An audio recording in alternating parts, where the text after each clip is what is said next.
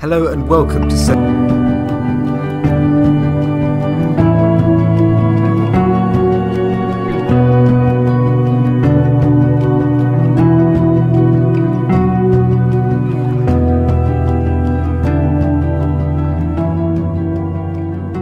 We start off this week's news with Hayabusa 2, the Japanese asteroid landing spacecraft that we talked about a few weeks ago, has landed on Ryugu asteroid on the 21st of September and pictures have been released of its surface.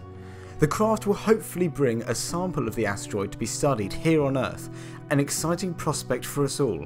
The small 1 kilo rovers jump around on the asteroid by utilising its low gravity, but there were many worries about the extremely rough and rocky surface of Ryugu.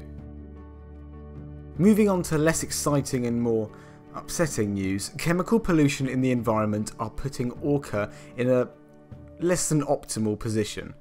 These compounds are called PCBs, an organic chemical that was mass produced around the planet, but many countries banned them in the 70s and 80s. When the orca catch and eat prey such as large fish and seals, they take in PCBs that have accumulated up the food chain, and these chemicals cause issues with their reproductive success. One group of killer whales living on the west coast seas of Scotland have not produced a calf in 20 years and are now down to only 8 individuals. Populations that feed on smaller fish seem to be doing alright, however orca in waters near Brazil, the UK and the Strait of Gibraltar are declining severely and could be lost in the next 30 to 40 years. The key to life itself may have been discovered to come from space in our next bit of news. Phosphates are a key element in the building blocks of life, helping life to replicate itself, and until now, how it came about was unknown.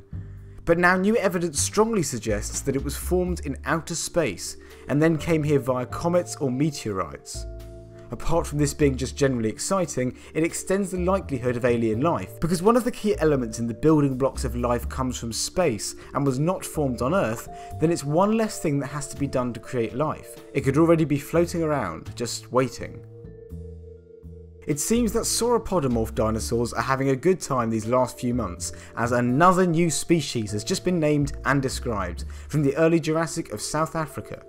Remarkably, this animal was likely the largest land creature alive at the time it existed, reaching weights of 12 metric tons. The most interesting thing about this discovery though is that it represents a separate origin for large body size in non-sauropod sauropodomorph and shows that such large sizes were possible for early sauropodomorphs.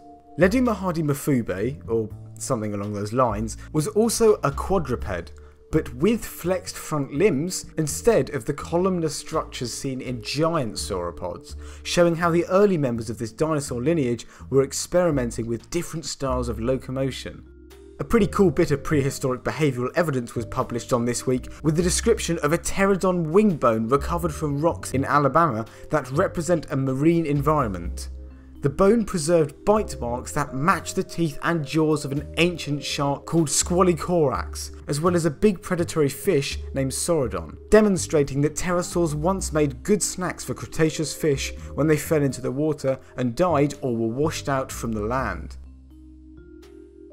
Thank you very much for listening to this week's 7 Days of Science. I do hope you enjoyed it, and as always, feel free to subscribe if you haven't already, and we'll see you on Sunday.